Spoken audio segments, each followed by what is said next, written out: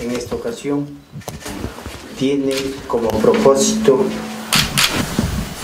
convocar, invitar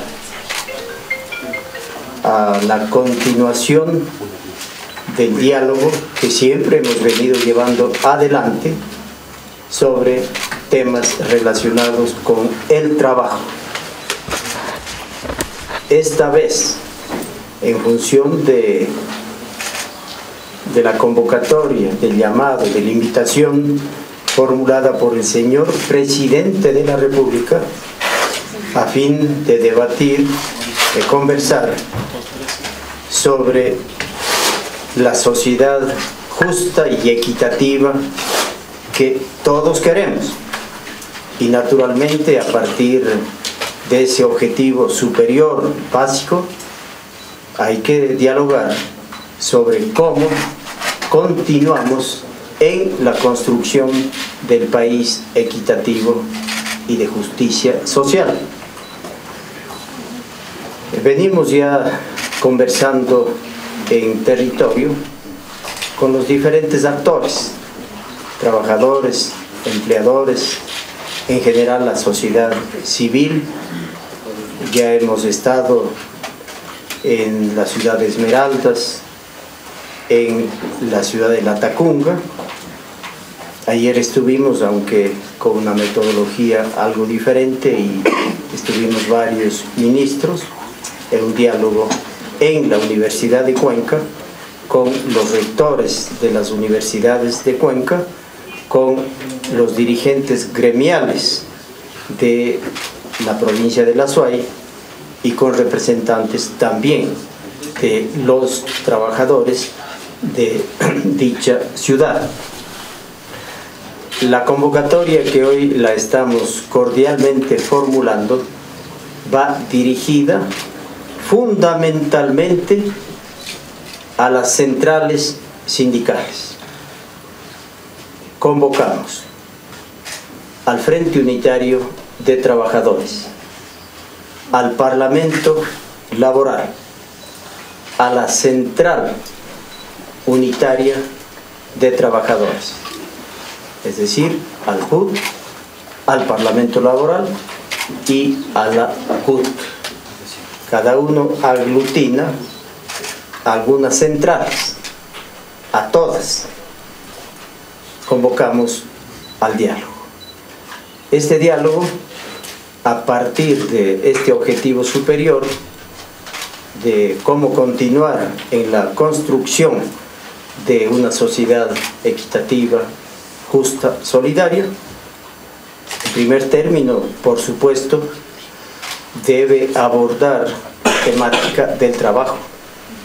Todo lo que hemos hecho en estos ocho años y medio sobre el tema, una evaluación y naturalmente cuáles son los desafíos en materia de los derechos del trabajo. ¿Cuáles son las propuestas?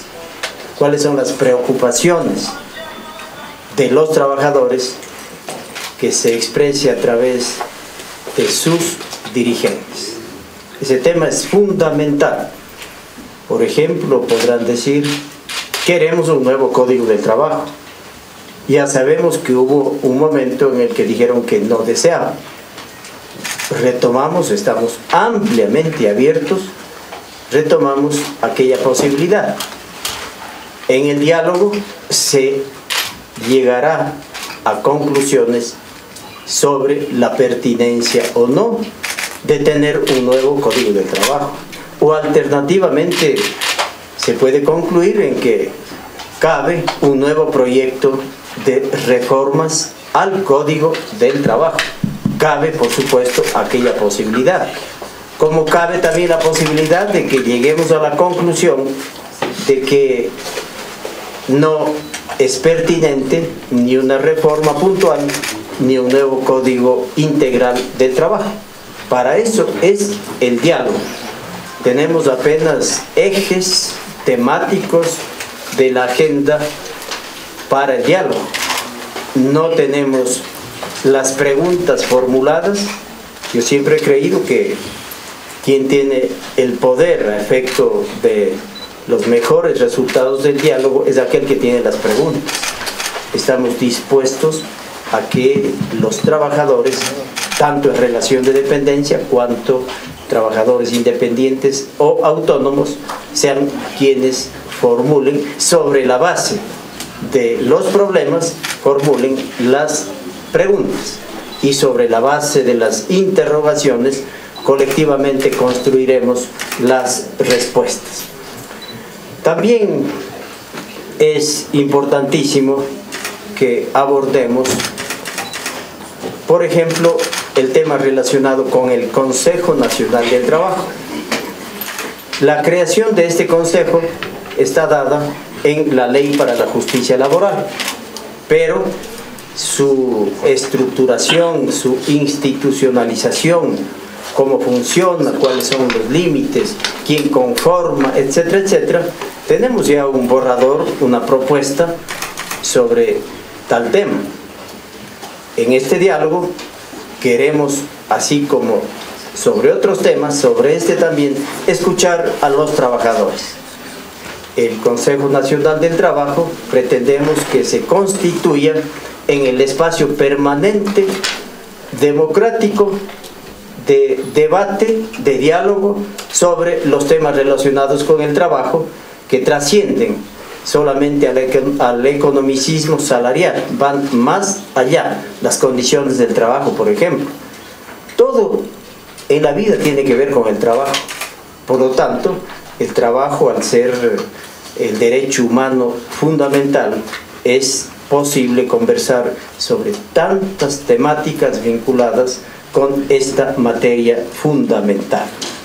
También queremos conversar, queremos dialogar sobre temas administrativos que no dejan de ser importantísimos como el marco jurídico, como las políticas, etc. En el ámbito administrativo hay procesos, hay procedimientos, hay trámites, el, el registro de las organizaciones laborales, el, trámite que debe darse a la contratación colectiva, etcétera, etcétera. Y, los temas no solamente para el sector privado, obviamente también para el sector público, pues queremos eh, discutir sobre aquello a fin de mejorar la atención al ciudadano en general. Quiero aprovechar para señalarles que eh, probablemente no hemos difundido lo suficiente pero la atención al ciudadano en nuestro ministerio ha mejorado ostensiblemente. El 70% de los procesos, de los trámites que tienen que hacerse en nuestro ministerio están automatizados. Los tiempos de atención han bajado astronómicamente. Claro, probablemente noticia que no se difunde o hecho o política que no se comunica es como que no existiera. Pero habrá que notar que hace un año estábamos en el tramitón por la complejidad, la demora de las gestiones ante nuestro ministerio. Y casi casi en la dirección regional Quito, que queda cerca de la Asamblea Legislativa, la gente ya llegaba hasta la Contraloría o la Asamblea Legislativa por el colómetro que tenía que realizar. Hoy ya no ven esa aglomeración de personas y claro, la prensa, no quiero inmiscuirme en el estilo de la prensa, pero cuando ven ese colómetro es noticia. Pero cuando no hay nadie en cola porque todos están atendidos con toda la celeridad, ahí ya no es noticia. Creo que es bueno también y en general en la vida todo revestirla de un poquito más de optimismo. las noticias buenas también deben ser noticias. Repito, no estoy para nada dando lecciones a la profesión de ustedes. El, el espacio este de diálogo también debe acompañarse por información, por difusión, entiéndase en algún sentido capacitación. Porque en las visitas que realizamos en estos diálogos en territorio, cuando estamos en empresas, en instituciones, yo me he dado cuenta fehacientemente que lo que nos pasa también, y no responsabilizo en absoluto a ustedes, sino a nosotros, no hemos informado o comunicado adecuadamente. La sociedad, la ciudadanía, créanse, no está debidamente informada de todo lo que se viene haciendo. Y es responsabilidad nuestra informar, comunicar. Hay medios de comunicación alternativos.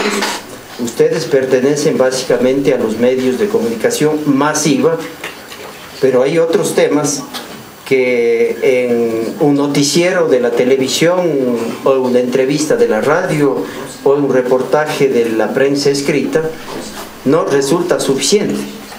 Muchas veces tenemos que hacer una comunicación, una capacitación casi casi puerta a puerta y de ello asumimos plenamente la responsabilidad.